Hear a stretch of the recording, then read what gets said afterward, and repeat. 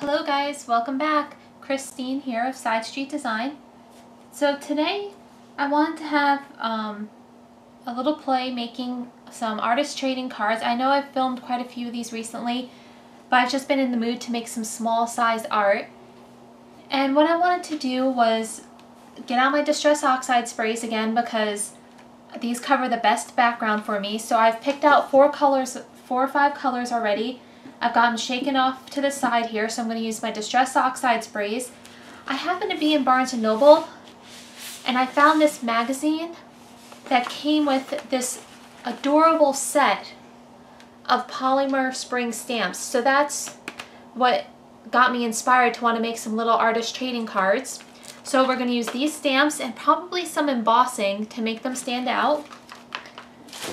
And then I have a sheet of, this is the Canson Watercolor XL uh, 9 by 12 140 pound. So I'm going to use that to be the base for my trading cards. And I'm just going to go ahead. The colors I picked out today are Fossilized Amber, Cracked Pistachio, Wilted Violet, Picked Raspberry, and some peeled paint for good measure. But we'll see if uh, I end up using that one. So I'm just going to go ahead and actually what I want to do is I'm just going to lay some paper towels around this because I'm a, I know it's going to overspray a bit. And this will help make cleanup a little easier. My stuff may be blowing a little bit. It's a beautiful day out, so I have the windows open. The cats are sitting in the window, so I may have to get up and let them out, or you may hear a little bit of the road noise. Alright guys, so first up, I'm going to start with my lightest color. I've already shaken these good off camera. Fossilized Amber. There we go. Next, I'm going to bring in some of my picked raspberry. And that's going to give me some oranges in areas. So these are really just bright, fun Easter colors. Okay, next up I'm going to do some cracked pistachio. And this one I've not used yet. Okay, so if you pump more slowly, you get bigger drips. If you push it down real hard, real quick, you get a more um, wide spray. And you get kind of some of the circles. And then last but not least, some wilted violet that as you could see when I shook it, it got in the lid. I'm just going to do this one a little higher, a little more gently. There we go. I need a little bit more of something in this corner. There we go.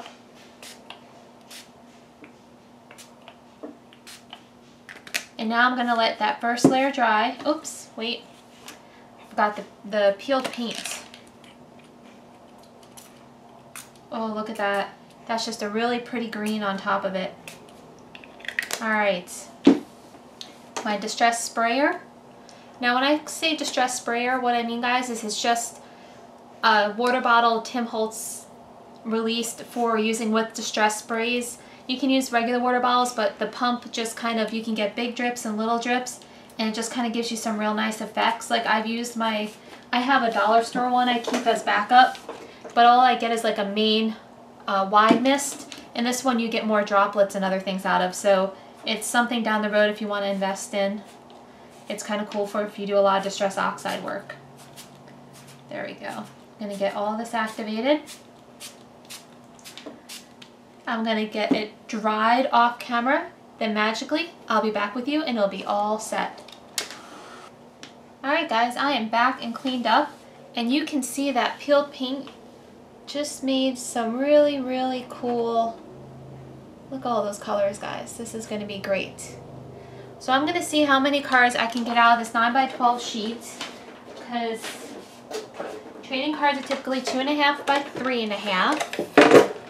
So I think I'm going to go the three and a half route first, and then I'll do the two and a half, and uh, I'll just keep fast forwarding through this part, guys.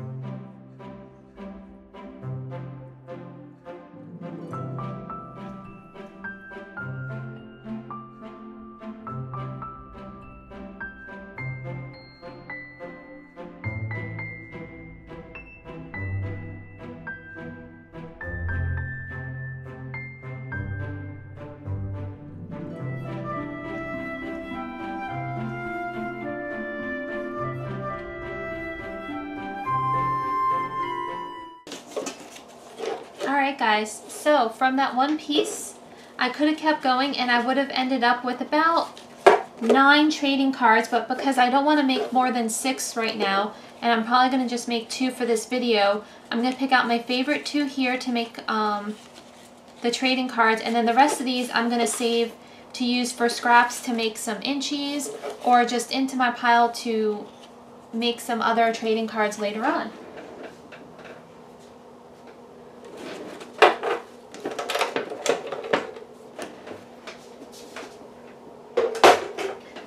So my idea, and maybe I will just fast forward and do all six with you guys,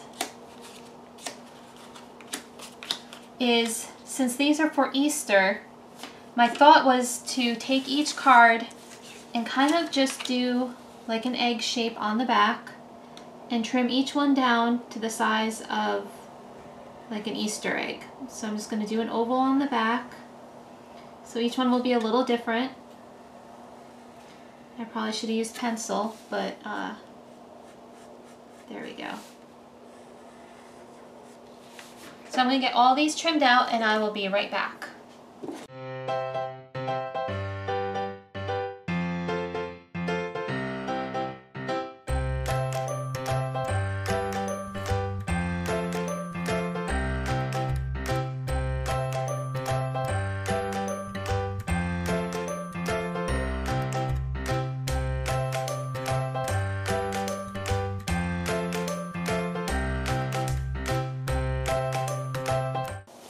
Guys, I am back and I have my six eggish shape cards. Now I'm going to go ahead and see which of these cute little guys I want to use. And I think there was also a duck. Let me see something. There was. There was a super cute duck. So I definitely know I want to use the duck on one of them. I can get it So we'll have a duck.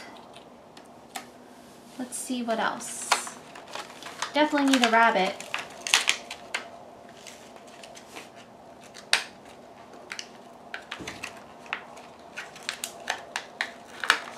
The rabbit looks to be attached to another sticker. I probably should have pulled this off. There we go, guys. So we'll have a rabbit. And now can't see them. Let's see.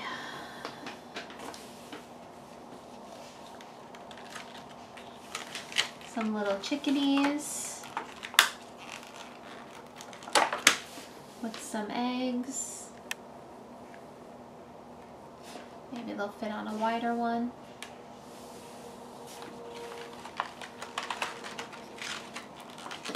Have to do the kitty cat. Kitty cat's cute.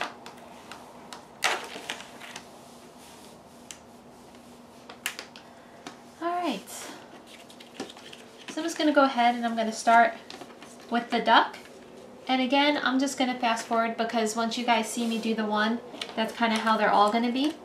And we'll just hang out and have some fun making some Easter themed ATCs.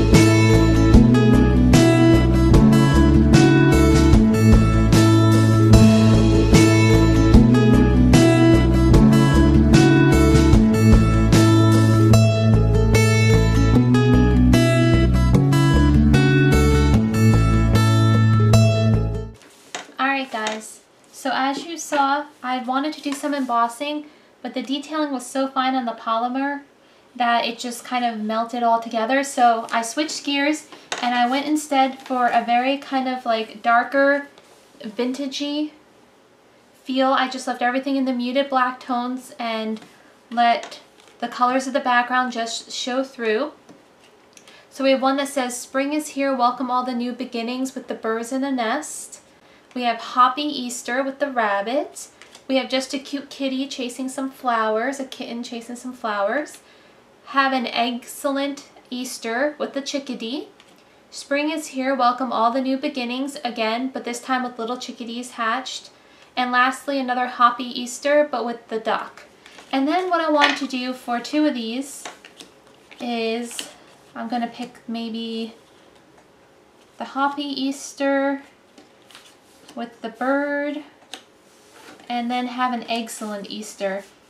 So on top of these being trading card eggs, if you know that you have one of those little tree branch trees for the holidays, you can also punch some holes in these, and I'm just going to do it to two of them at the top, and use some burlap, which I have here, and you can turn them into little ornaments as well. I'm looking for my one pair of scissors. So these are great also for little vintage inspired. And on the back you can put a note or you can paint the back or change its color. Because I know sometimes people make trading cards and trading coins and they're like, well, what, what do we do with them now once you get them? Well, if you're sending them in Happy Mail, you can also turn them into little ornaments for people so they'll have them seasonally, if it's a seasonal one, to put on trees or do different things with. And there you go. Just like that. Easy as that. Do this one. So thanks for bearing with me guys on this one. I uh, had a little trouble getting started, but once I got that first one done with the black ink. I knew the feel I was going for and the look I was going for. So I hope this will inspire you because even though these are trading cards, I turned them into like a half dozen eggs.